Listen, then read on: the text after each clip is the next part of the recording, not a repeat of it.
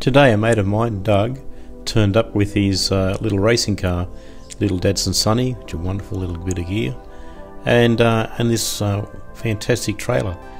He uh, Doug built it himself. It's got all the front air at the front, which can take the fuel churns, toolbox, winch, and this fantastic tilt-up section, which gives you great access to the, the trailer.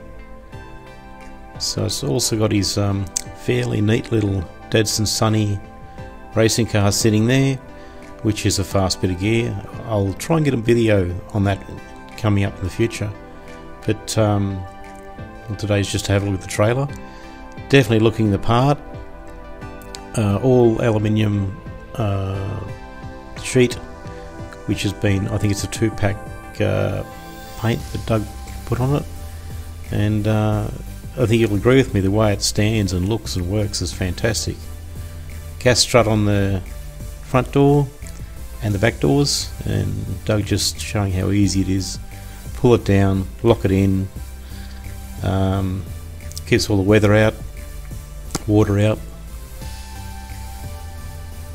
Very, very nice, well done.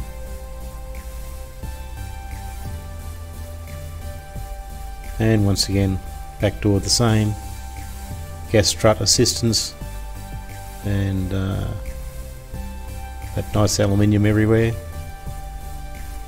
Definitely a great bit of gear